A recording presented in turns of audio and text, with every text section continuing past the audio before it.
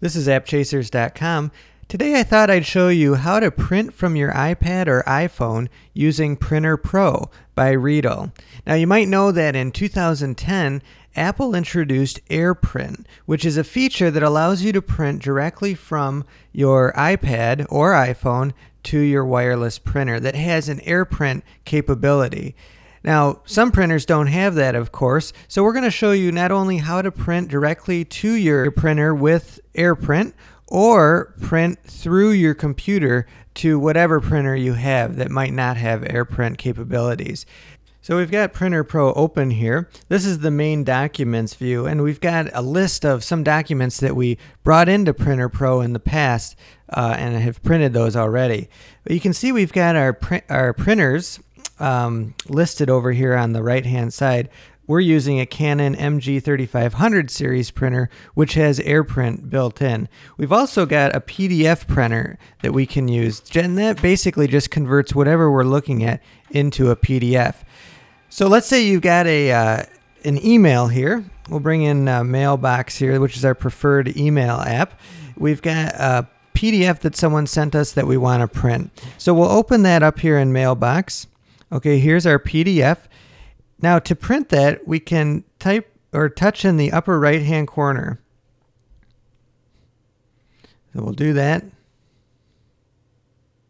All right, now we do have a print button right here. Uh, you'll see that in the lower portion. If I touch on that, you can see my Canon printer is showing up. This is the built-in iOS AirPrint feature but it doesn't give us very many options. We can choose if we want double-sided and we can basically just choose how many copies we want. That's it. But to get more abilities, we want to go back in here and we want to open this PDF in Printer Pro. So we'll type on that. Here we are. We've got our printer uh, or our PDF brought in here. We can choose if we want a portrait or landscape mode. We can choose our printer, whether we want to print that to our Canon MG3500 or not. And we've got a few different options here. First of all, this one's really important, the print range. Now, there's only one page in this document, but if there were more, we could uh, select page 4, 9, and 11, for example. So we'll back out of that because this only has one page. We can pick the original size, we can pick fit to page or fill the page, and then we also have these different layout options if it was a multi-page document. And then we can choose uh, how many copies that we want to print here. So let's do that and let's send it right over to our printer. So we'll tap on the print button here. We'll see what happens.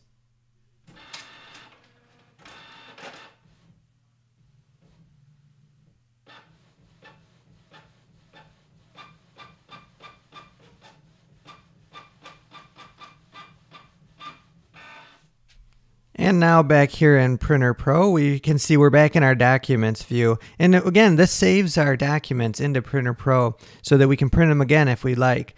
Over on the left hand side, you can see we're in Documents view, but there are a number of other ways that we can print from Printer Pro. So you see down here we've got our photos. We can go into our camera roll and print pictures that we have um, already on our iPad or iPhone.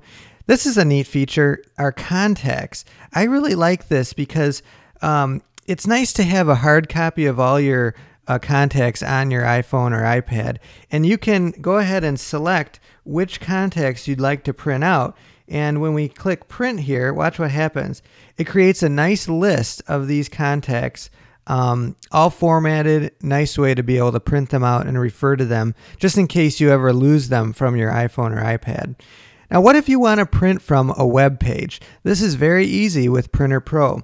We'll show you how to do that. We'll go over into Safari here on our iPad. We've got a website already open, so you can open any website. And then we'll type or we'll touch on the share icon in the upper left corner. So we'll touch on that and this time, instead of uh, opening in Printer Pro, you see we don't have that option, but we can copy. So we'll hit the copy button. We'll switch back over to Printer Pro and now we're going to tap on the left-hand side where it says clipboard. Watch what happens. It brings that website right in to Printer Pro. So we'll now hit the print button. It's going to format it in a nice way. Uh, very simple way. It formats it, cuts out all the clutter, and we're ready to now print this document. Now, what if you don't have an AirPrint capable printer? What do you do then? Well, don't worry, Printer Pro has you covered because it has a desktop helper app that you can install that'll help you print from your iOS device through your computer. You can see that here on Readdle's website. You're able to download this helper application to your uh, Windows computer or your Mac, and then you'll be able to print using your computer, but a document that's on your iOS device. It's a nice way if you don't have a AirPrint capable uh, printer, you can print using a USB printer using Printer Pro. So we really like Printer Pro here at App Chasers. Nice way to get a lot more options when printing a document, uh, much more than just using the built-in AirPrint option. So this is appchasers.com with our review of Printer Pro.